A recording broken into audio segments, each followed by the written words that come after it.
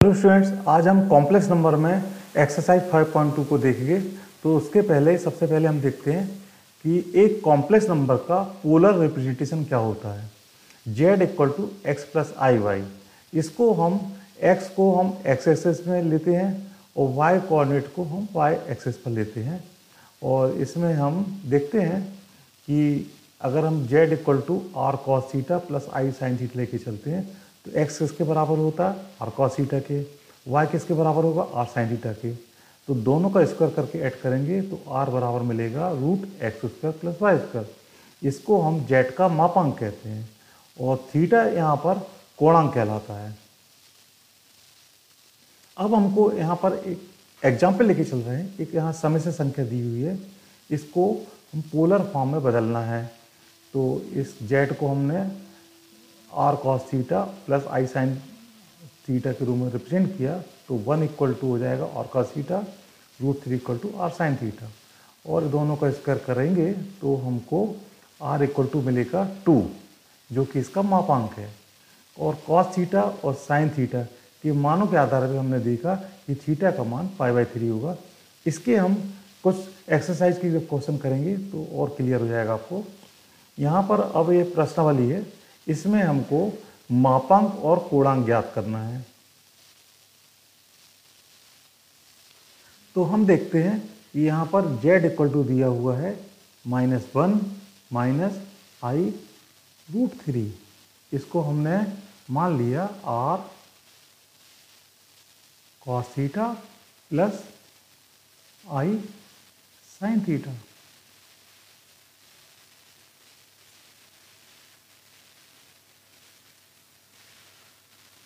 तो कंपेयर करने पर हम देखते हैं कि r cos theta equal to minus one r sine theta equal to minus root three अब हम दोनों का स्क्वायर करके जोड़ेंगे तो आर स्क्वायर टू हो जाएगा माइनस वन का whole square minus root three का whole square equal to four this imply r equal to two तो हमको कॉस सीटा इक्वल क्या मिल जाएगा? माइनस वन बाय टू और साइन थीटा इक्वल टू मिलेगा हमको minus root three by two अब हम देखते हैं कि cos 180 plus sixty equal to minus cos sixty और माइनस कॉस सिक्सटी कितना होता है?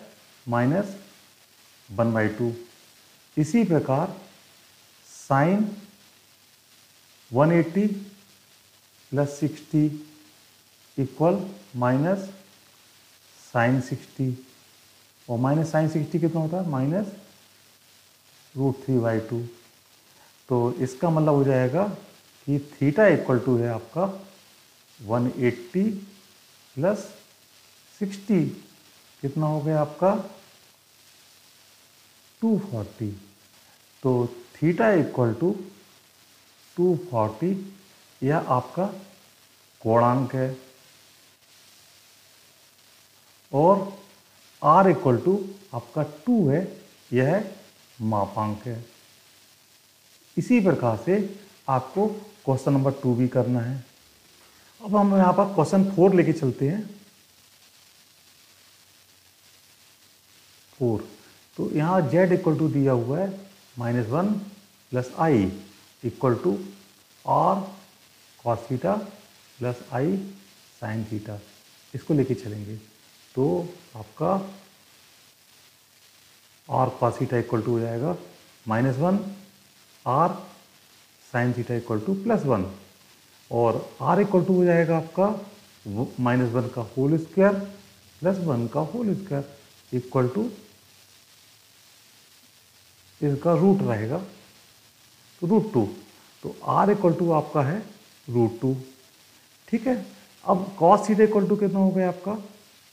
Minus one upon root two और साइन थीटा इक्वल टू कितना हो गया? One by root sine 180 minus 45 equal plus sine 45 equal to one by root two. इसका मतलब आपका थीटा इक्वल टू है 180 एट्टी माइनस 45 कितना हो जाएगा?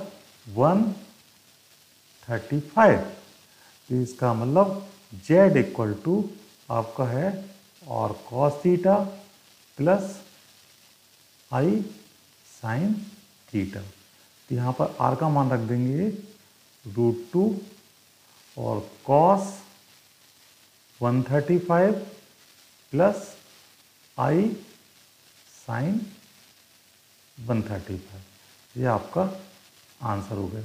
इसी प्रकार से बाकी क्वेश्चन भी करने की कोशिश करेंगे।